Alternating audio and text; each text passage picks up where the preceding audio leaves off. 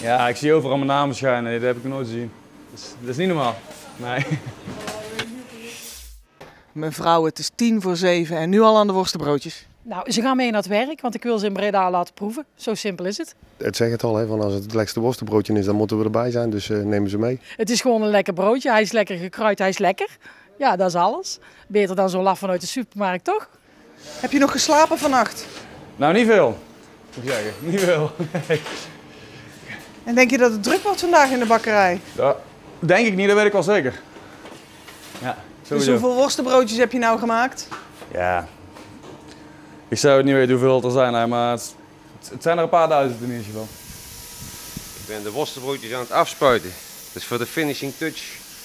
Maakt ze mooi glanzend? Extra eh, lekker mooie glans, ja. ja.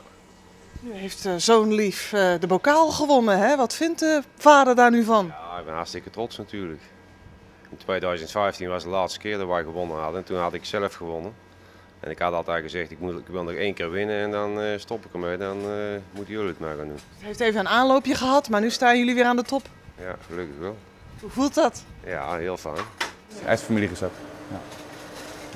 Geen andere twist eraan. Nee, helemaal niks. Nee. En zwaar geheim natuurlijk. Ja, zeker weten. Dat kan niemand weten, anders wordt er volgend jaar iemand anders echt.